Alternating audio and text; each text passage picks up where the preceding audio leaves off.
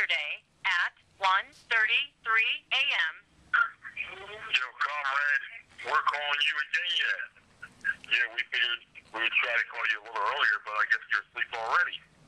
But yeah, man, us and the squares, we played a show tonight yet, and now we're just getting fucking hammered. Yo, we're getting, yo, we're getting bent like crowbars up in this bitch.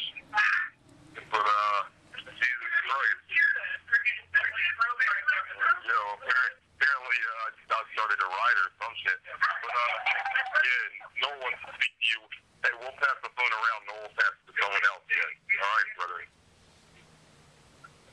Jake, you goddamn beautiful son of a bitch. I love you. Is So last, last night, this dude, or I randomly get get phone calls and texts on my phone about about people wanting to buy cocaine from me because they think I'm a drug dealer. I guess. And I guess whoever had my phone number before me was a drug was a drug dealer. So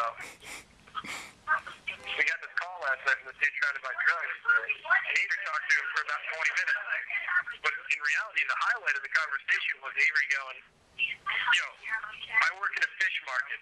Get loud, bitch. And then, and then the guy apologized. But yeah, the moral of the story is, uh, you're beautiful and I love you, and one day we'll be together. Don't worry. All right, here's gonna be um. Who am I going with? We're going with Blonsky. Yeah.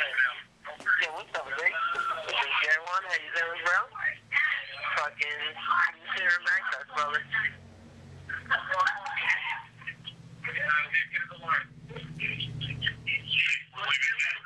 That's for Jake. That's for Jake's voicemail, dude. I wish we could summon you here so you can hang out and have some drinks with the good people, man. We're having a good time. Can't wait till Max Fest, less than two months away. Gonna be doing this all over again. I'm I'm gonna pass you over to Josh.